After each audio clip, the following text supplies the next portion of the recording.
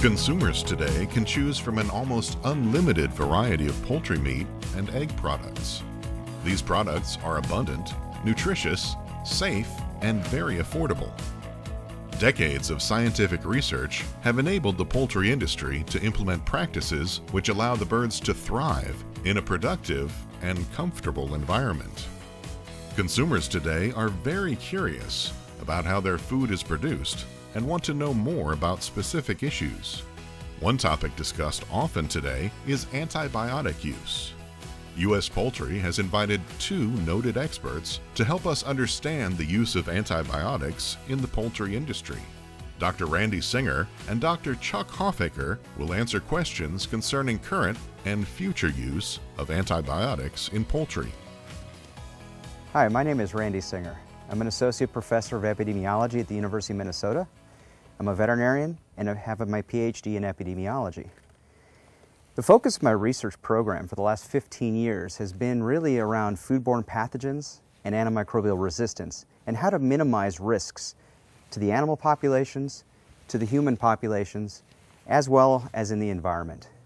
When I teach courses in infectious disease epidemiology to grad graduate students in veterinary medicine and in public health, we focus extensively on how we can create programs to reduce these disease risks to the animal populations and human populations.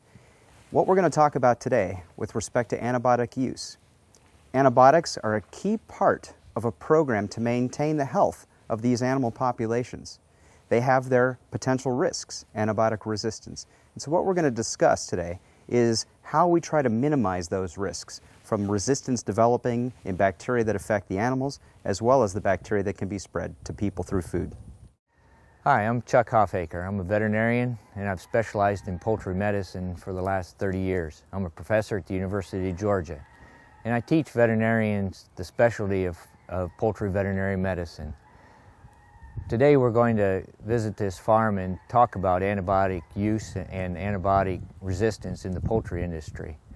One of the major tools that a poultry veterinarian and the poultry industry uses in uh, their fight against diseases is to prevent the disease to come onto the farm in the first place.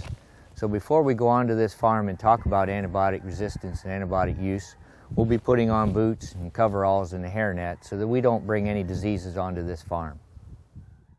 Why are antibiotics given to poultry? Maintaining the health of a population of chickens like this is no simple task. This is a complex living organism that really is treated as a single unit, this approach in population medicine. Antibiotics are a critical component of our toolbox on how to keep this population healthy, but they are definitely not the only or even the primary tool in our toolbox whether it's the veterinarian, the, uh, the manager of this farm, the people who work on the farm, everyone is aware of the health status of this flock of chickens and will incorporate a whole variety of interventions to keep this population healthy, from vaccination protocols to management strategies, rodent control, vector control, a whole variety of ways in which we work to maintain the health of this population.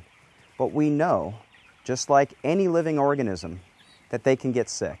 So we are going to use those antibiotics to maintain the health, preventing them from getting sick in the first place, or should disease appear, that we can quickly respond with the appropriate antibiotic in order to eliminate that disease from spreading rapidly through this population.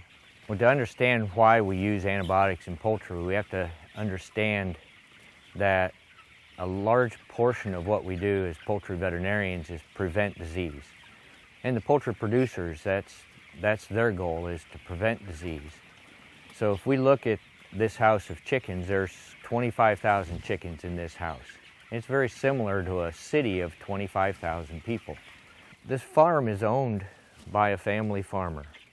He, he runs this farm and it's his family's business. To be successful, he's going to have to do a good job in the husbandry or the animal care. So the environment inside of these houses is very, very good. The, the chickens don't have to worry about a hawk flying over and attacking them or a fox coming and getting them. They're in a, in a safe, clean environment where they have food and water whenever they want to eat, whenever they want to drink. The air is, is fresh and clean. So the environment is actually much better than it would be if they were in, in the old days outdoors. Uh, 30 years ago when I started as a veterinarian, there were still a lot of turkeys that were raised outside. And those turkeys had a lot more diseases and got sick a lot more that were outside than the turkeys that are raised indoors. And that's the reason that there's not much turkey raising that's outdoors any longer in the United States. This video was brought to you by U.S. Poultry and Egg Association. Funding for this video was provided by the International Poultry Expo. Please support our exhibitors.